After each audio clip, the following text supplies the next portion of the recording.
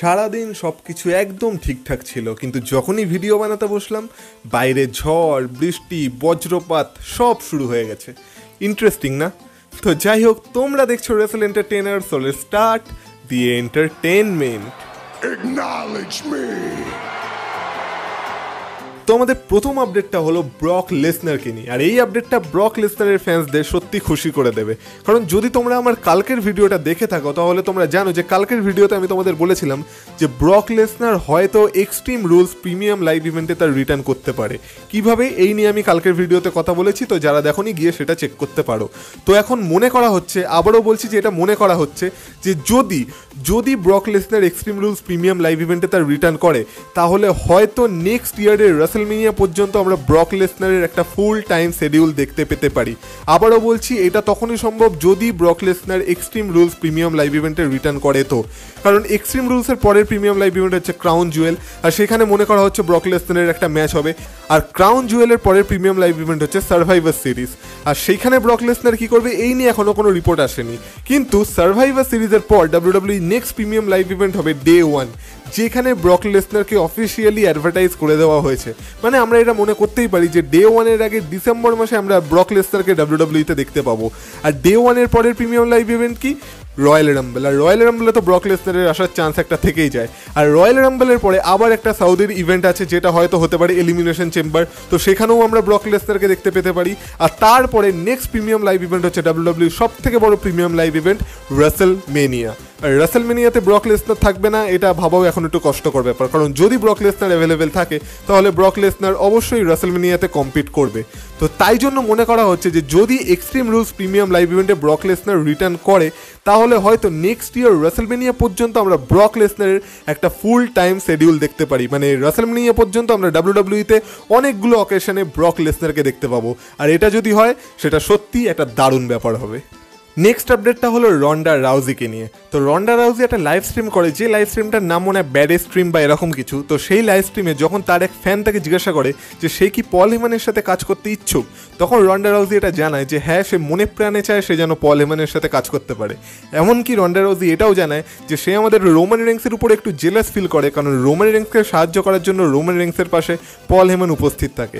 আর Ronda Rousey চায় যে যেইভাবে পল হেমান ব্রকলেসনারের হয়ে প্রোমো কাট করেছে, যেইভাবে পল হেমান রোমান রেংসকে প্রোমো কার্ড করতে সাহায্য করে, ঠিক সেইভাবে যেন পল হেমান রন্ডা রাউজির হয়েও প্রোমো কার্ড করে। আর এই কারণে রন্ডা রাউজি মনে প্রাণে চায় যে সে যেন পল হেমানের সাথে কাজ করতে পারে।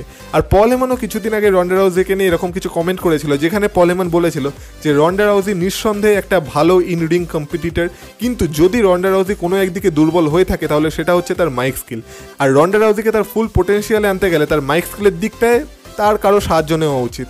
আর এই কারণে তার পাশে এমন কাউকে দরকার যে মাইক স্কিলে এক্সপার্ট। মানে এইখান থেকে বোঝা যাচ্ছে যে পল হেমান ও রন্ডা রাউজের সাথে কাজ করার জন্য একদম ওপেন আছে।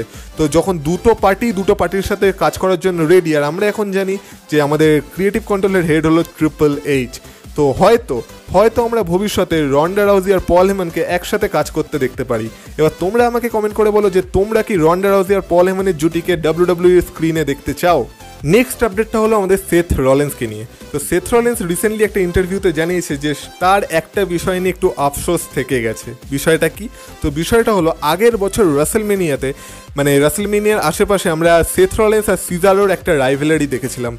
যার ফলে সেথ রলেন্স আর সিজারোর মধ্যে রাসেলমেনিয়া থার্টি সেভেনে একটা ম্যাচও হয়েছিল। তো আমাদের চোখে তো সেই রাইভেলারিটা ভালোভাবে শেষ হয়ে গেছিল।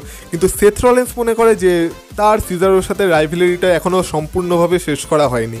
কারণ তখন সেথরলেন্স তার মাসায়া গিমিকটা ছেড়ে তার ভিজনারি গিমিকটার দিকে ঢুকছিল।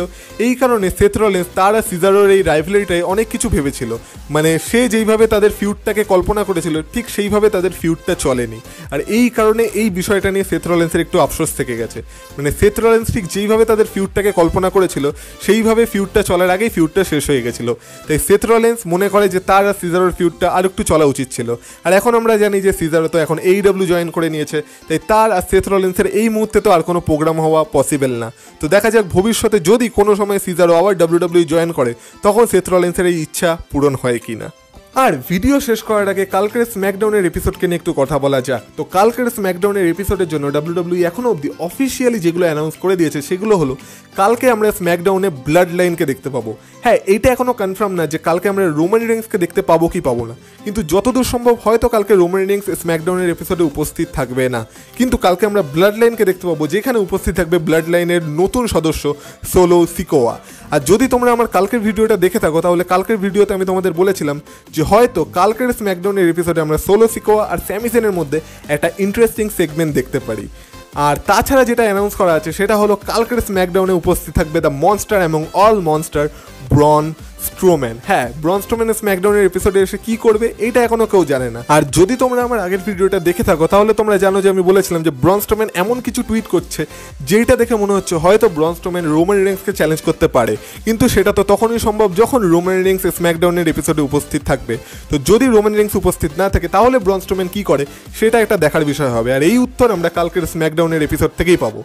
তো এই কটা জিনিসই এখনও অবধি ডাব্লিউডব্লিউ অফিসিয়ালি কালকের স্ম্যাকডাউনের জন্য অ্যানাউন্স করেছে। তো দেখা যাক কালকের স্ম্যাকডাউনে আমরা কি কি বড় বড় সারপ্রাইজ পেতে চলেছি। তাহলে এখনের এই ভিডিওটা এই অবধি থাকে বা তোমরা আমাকে কমেন্ট করে বলতে পারো যে কালকের স্ম্যাকডাউনের এপিসোডের জন্য তোমরা কতটা এক্সাইটেড আর বাকি বিষয়গুলো নিয়েও যদি তোমাদের কিছু বলার থাকে, সেটাও তোমরা আমাকে কমেন্ট বক্সে কমেন্ট করে বলতে পারো। আর যদি ভিডিওটা ভালো লেগে থাকে, ভিডিওটা একটা লাইক করে দিও, আর চ্যানেলে নতুন হলে চ্যানেলটাকে সাবস্ক্রাইব করে দিও। কারণ এই চ্যানেলে ডাব্লিউডব্লিউর সাথে জড়িত এরকমই নিউজ আর আপডেট ভিডিও রেগুলার আসতে থাকে, আর মাঝে মাঝে কিছু স্পেশাল ভিডিও আসে। তাহলে তোমাদের সাথে কথা হবে আবার নেক্সট ভিডিওতে ততক্ষণ তোমরা ভালো থেকো। টাটা।